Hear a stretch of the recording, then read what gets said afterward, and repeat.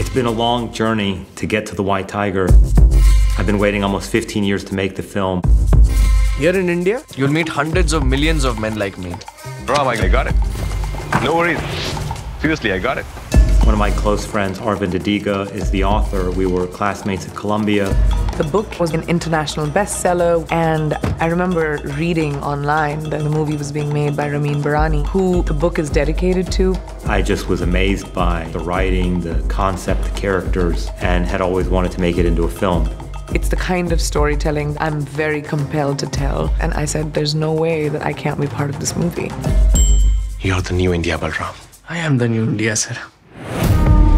The White Tiger follows the story of a character called Balram Halwai, and he wants to be an entrepreneur, and that ambition can change a human being. Something was burning inside of me. What would my destination be? I was worth more. For me, it's about revolution, breaking the shackles of things that you've been bound by.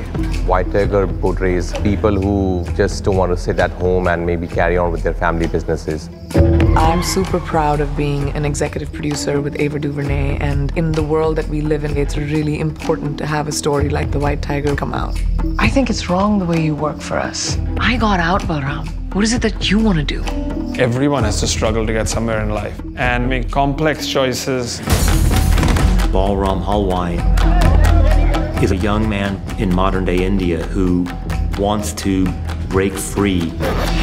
He wants to live his life to its fullest. He wants a chance to reach his potential. Balram, in a way, depicts the new generation, a newer generation of this world. At its core, it's a universal story. That is what is so appealing. It's more relevant now than it has ever been because it discusses and raises uncomfortable questions. I'm just one who has woken up while the rest of you are still sleeping. The film sees something different in India. That's what makes it really special. Now, with streamers like Netflix, I think it's really amazing to see the world consuming media and entertainment from all parts of the globe. It goes from humor to darkness. I want the movie to transport people to a different world. It's a century of the brown man and the yellow man, and God save everybody else. Thanks for watching. Subscribe to the Netflix Film Club channel to get our latest exclusive videos. Plus, hit the bell so you don't miss a single one.